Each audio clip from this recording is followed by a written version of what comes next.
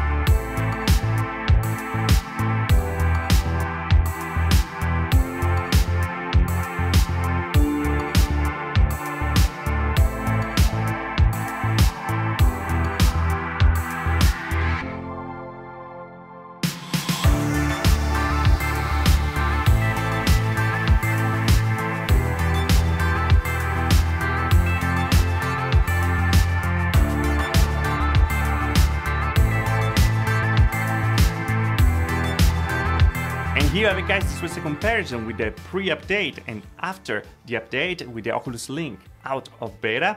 And I have to say that the results are very very good. More in person than in the True Lenses video. Uh, when I approached this video I actually wasn't really uh, sure uh, that I was able to show um, difference at the end of the day because uh, you know the details the difference is so so small and tiny that maybe the camera wasn't going to get it. But uh, we got some good examples probably the best one during the text test where we can see that we can kind of read one more raw uh, than the one that we did before. So for sure the resolution, having a higher resolution now, uh, being able actually to change the resolution also in software, uh, for sure helps for readability and for clarity. Also, I have to say that I found a big improvement not just in uh, picture clarity, but actually in latency and stuff like that. And we also have to notice that this time is running at 90 Hz instead of the 72 Hz of the pre-update. Now, what are the weird things with this update though? Uh, one is that I had to actually change manually uh, the bitrate to 300 because I wasn't really able to to get a good color balance, a good color reproduction. Uh, with the even with the newest update, I had pretty much the same compression of before. And bring it up, uh, I wanted to see the best scenario possible, and bring it up to 300. I actually had a much better picture. That is kind of comparable to other headsets. We are not quite there, uh, like having a display port directly on your PC, but uh, well, uh, we're getting close to it. And I don't know if they're gonna uh, keep improving here or not, if we are really at the limit of the USB uh, 3.0 right now, but this was a great uh, result and I think you can spot it in the video of course. At the same time though I noticed some uh, weird shimmering uh, in the image. Everything was kind of moving in the small details uh, so it was really hard to capture uh, like certain scenarios when you see for example the cars getting far away further away. Well it, they kind of like move a little shimmering around so it was a little weird. I don't know what was that produced that. Uh, I didn't have any automatic resolution over there. Uh, the resolution was high enough, so I don't think it was a resolution problem. So uh, maybe it's something that we can look at. And the thing that I have to point out the most is that this is very, very heavy on the graphic card right now. I have a 2080 Ti and I was struggling with frame rate pretty much everywhere. DCS was completely unplayable. For example, with this resolution, this bitrate, and uh, the frame rate of 90 Hz. Uh, now, I didn't try uh, to bring it down because I wanted the best quality possible for the picture, uh, but yeah, 2080 uh, Ti wasn't enough to uh, stay uh, with this resolution, with this frame rate, uh, with this bitrate. so it's something that you have to be aware of. With, to have the same result, for example, with the PCVR headset made for PCVR uh, is much much easier. Like I can run even a higher resolution with the G2. Instead here I have to keep it everything lower to make it playable. And if I make it too playable, well, I'm gonna have some uh, artifacts from uh, the compression. So uh, it's really a balance that you have to find over here. For sure, it's much heavier on the GPU uh, than uh, than a regular PC VR headset. But anyway, guys, I think that the, the, the upgrade, uh, it was for sure worth it. The image quality is much, much better and it's much better when you have it on your face than, uh, of course, showing it in a camera. That's why I give the disclaimer every time. Uh, but so far, that's all. Let me know what you think about it in the comment below. And uh, in the next videos, uh, the True Lenses series video, we're actually gonna see, uh, I'm gonna try to do the same with the latest version of the G2 comparing to the pre-production unit, but uh, I tried already, I didn't find much uh, difference, at least from the camera. Uh, when you put it on your eyes, well, uh, it's absolutely another thing, uh, but from the camera, well, I couldn't show really uh, what was the real difference. So uh, for now, I'm keep working on it uh, and let's see if uh, I can push it soon.